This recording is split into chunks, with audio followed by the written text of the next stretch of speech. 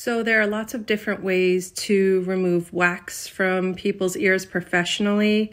Um, how and why a professional might do it one way or over another has um, is a personal preference, and it has a lot to do with where the wax is seated, how hard it is, how deep it is, what the conditions of the ear canal um, are, and and also has to do with the history of the ear. So, for example, if you have a history of chronic outer ear infections and eardrum perforation, if you're sensitive to any kind of tools in your ears, um, ear earwax removal by means of irrigation is probably not for you.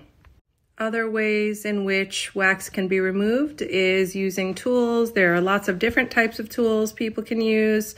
Um, there are tools that look like alligator forceps. They actually pick and remove the wax out of the ears. There are tools that have, um, they're kind of straight and they have a bend to them. Those can be used to pry wax out or work wax, roll wax out of the ears. There's also microsuction. It's a little vacuum that's inserted into the ear canal that suctions the wax out.